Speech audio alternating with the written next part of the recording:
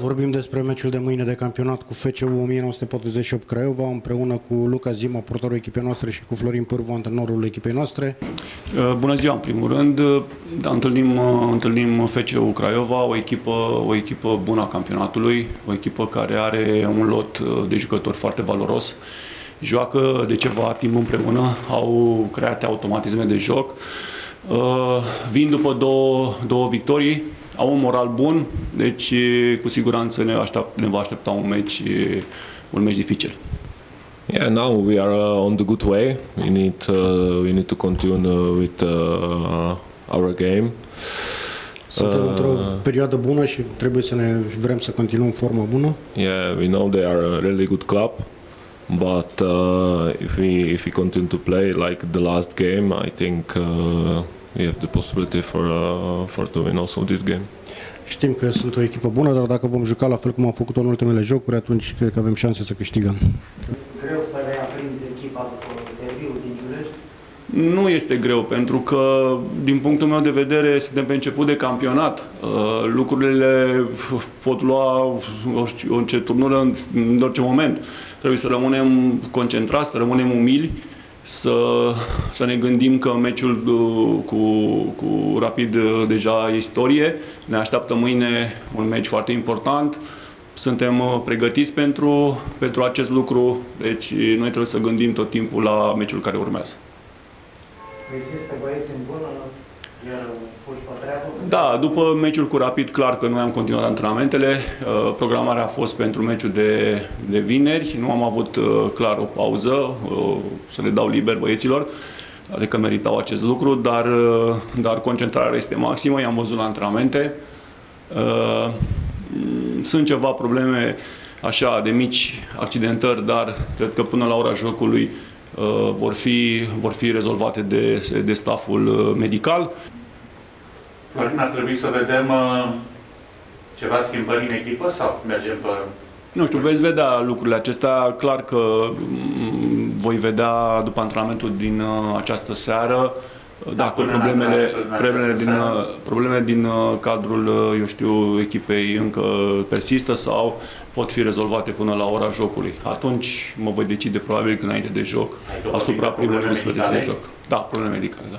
Și are cineva în momentul Suntem cu ușoare accidentări și sperăm ca, eu știu, staful medical să, să facă tot ce depinde de el să uh, rezolve aceste probleme. Este și Diomande? Chiar, cu Dio s-a antrenat, s-a antrenat cu noi, dar face doar, uh, a făcut prima parte, încă nu este 100%. Probabil că de luni uh, va intra cu echipa și va face antrenamente 100%. Au fost oameni din fotbalul românesc care te-au felicitat după da, da. Mulți. Sunt foarte mulți.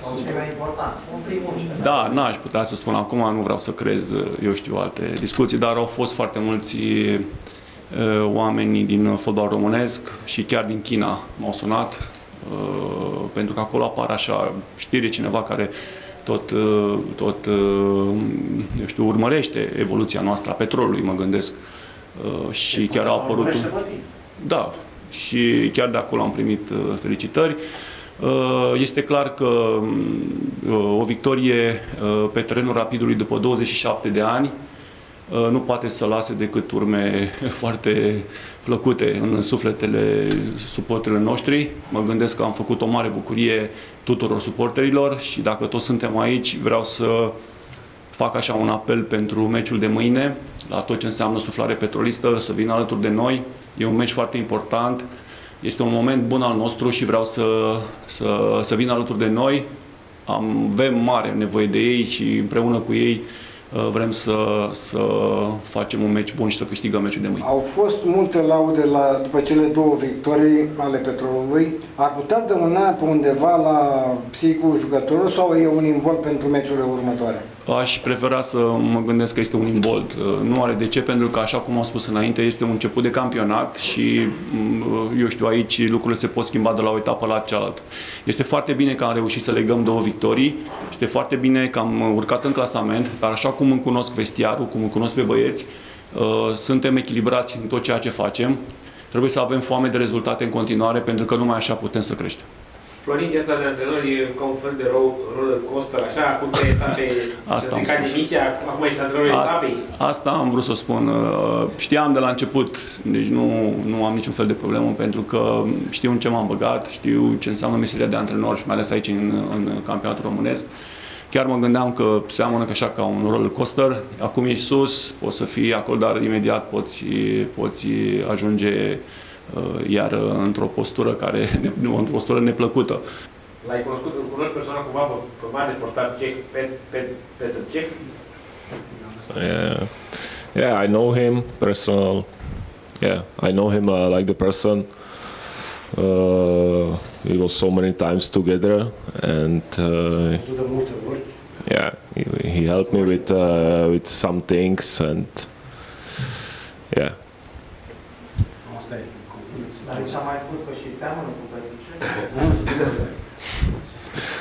yeah, maybe look, but uh, Poate că seamănă, dar I, I need to work so much for to be like him. So trebuie să muncească foarte mult ca să fie la fel ca el. Vreau să îl întreb și eu pe portarul echipei noastre dacă petrolul este o haltă către o destinație dorită viitoare sau dacă va rămâne în continuare, va semna în continuare ca să ia și un trofeu pe aici.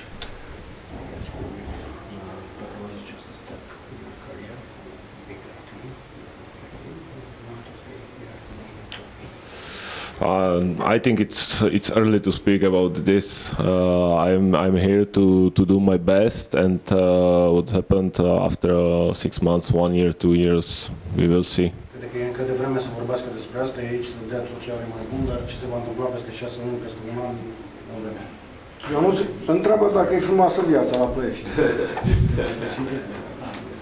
Yeah, yeah, yeah. The city, it's uh, it's really good, uh, and uh, the people, the people, they are good, and yeah. Am înțeles. L-a surprins ceva în fotbalul nostru?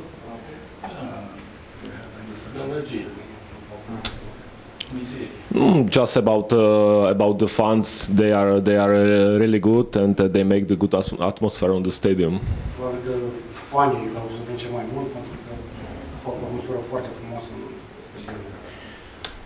Vreau să-l întreb uh, eu dacă este o strategie a lui de a ține mingea când o recuperează, fără să-și pună foarte repede pe contraatac uh, vârfurile.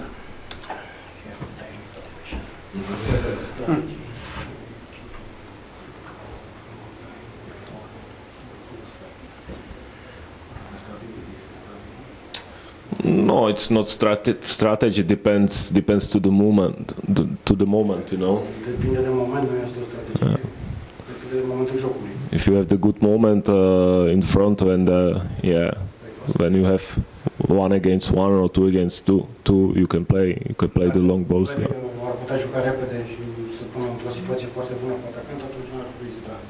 Suntem, uh, suntem într-o, într-un moment bun și vreau ca acest moment să fie susținut de foarte mulți, foarte mulți suporteri pentru că uh, avem nevoie, chiar avem nevoie de un, uh, de un stadion plin mâine, mâine după amiază. Mai ai un meci la momentul când ai venit la emisiunea televizată.